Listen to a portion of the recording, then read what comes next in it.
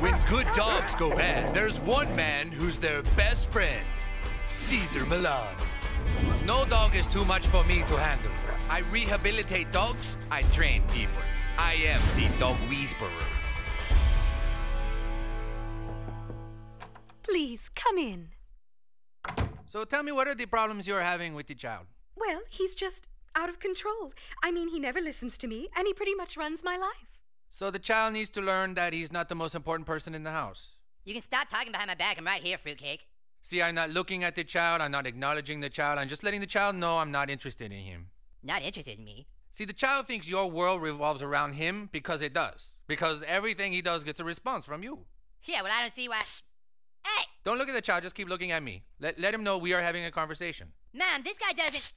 Quit it! What is that you're doing? Dogs show their dominance by nipping each other on the neck, but it works equally well in the child. I just use two fingers, nip at the child's neck. Doesn't hurt the child, just let him know I am dominant. Look, Mexican, if you really think that you can. Knock it off! See, I'm not validating his bad behavior with either negative or positive response. Oh, that's very interesting. I think the first thing we need to work on is getting the child some exercise. He's fat and he has all this pent up energy that we need to let him burn off. Do you take walks with your son? Well, no, I don't. Go on, let's take your son for a walk. Hey! You think this is funny, you son of a bitch? See, once again, I am the one going for a walk. This is about me. The child is lucky enough to come along. Mom, this is degrading! Ah, god damn it!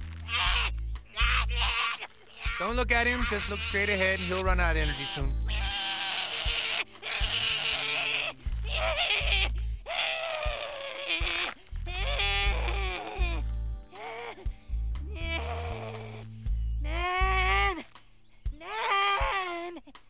Here, why don't you try it now? Take your son. I'm serious and people are seeing me! Good, just keep your confidence, shoulders back, eyes straight ahead.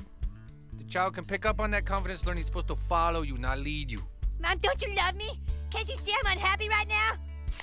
Mom! Good, Miss Cartman, very good.